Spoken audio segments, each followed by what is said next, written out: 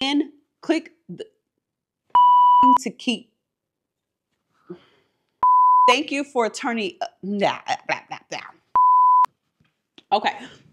Okay. What is that? Don't even matter. Cut. Cut. All I think about is you. Even when I'm with my boo, you know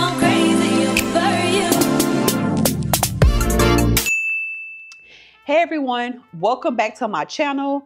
Um, if you are new here, my name is Dose of Tempest. If you are returning, hey boo hey. So, as you guys know, we've been talking about fibroids health, and today is going to be part three of basically our series. As you guys know, part one, we talked about endocrine disruptors and what we put on our body. Then we talked about food, the best and worst foods for fibroid health. So now we're going to talk about what we surround ourselves with. So that's the environment. So we're going to dive into a critical topic today, which is environmental triggers to avoid. Um, these things can negatively impact our hormone balance and or increase fibroid health. So, as we discussed before, fibroids and hormone imbalances are closely linked to what we expose ourselves to daily. Hmm. And before we get into all of that, when we talk about food, y'all, this is nothing but water, no alcohol.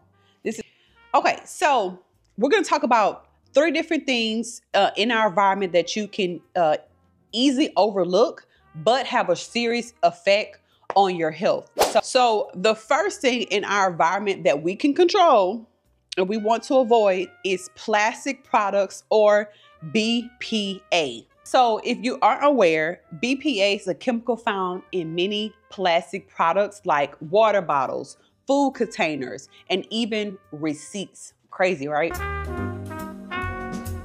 Right? So, BPA is a synthetic estrogen that can disrupt our hormone balance, potentially leading to fibroid growth and other reproductive issues. If you guys remember in part one, when we we're talking about endocrine disruptors, we talked about synthetic estrogen. When we're exposed to it, it can mimic estrogen in the body.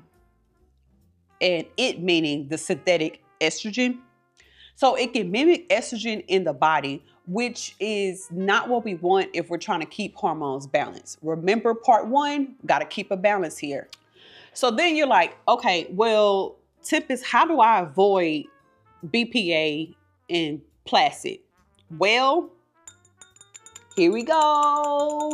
Now you don't have to be fancy like me and hold, uh, you know, like a champagne glass, but you want to opt in for glass as much as possible, and or uh, metal water bottles. That could be an alternative too. But when you're eating, drinking, try to opt in for glass which I hate the little knocking things, but try to opt in for glass rather than plastic. If you're going to the store as well, I know this sounds crazy and it's like, Tempest, you're being extra, but we don't know exactly what causes fibroids to grow. These are just things in research. Many people have already found that these uh, have an impact on fibroid growth. With that being said, if you can opt in for reusable bags or paper bags, try to do that and avoid plastic bags. If you have to get a plastic bag, okay, cool, but try to limit the number of plastic bags that you have, especially my people who have a drawer full of plastic bags. Sis, limit that, okay? I know it can be hard in the beginning, but remember, try to do this step by step. The first thing that you can do when it comes to changing out plastic from glass is try to start with your cutlery first. So um any any silverware plates and all of that stuff try to get with glass. Try to go with real plates okay um so let's get into number two. Okay now i know this next one is going to be a little bit tough for some of y'all but just just hang tight. Let me get through it okay? So the next topic that i want to talk talk about is fragrances that are in beauty and household products. Okay, so uh, everything that smell good isn't good for you. All right. So this can be our lotions, perfumes, and even cleaning products. Um, and then I'll go into a little bit more detail of some of those other products as well. So that is synthetic fragrances. Um, these are found in beauty products, perfumes, and even household cleaners. These fragrances often contain chemicals that these are chemicals that can disrupt your hormones. So um so plyphates, I'll make sure I get the word right because I'm not pronouncing it. They have been linked to reproductive health issues and can act as a synthetic estrogen that mimics in your body. So those are things that you want to to avoid. Um, and when we talk about the fragrances that's in beauty products or whatnot, not only is in lotion, um, your bath stuff that we talked about in uh, in part one of this, this is also like your Bath and Body Works candles.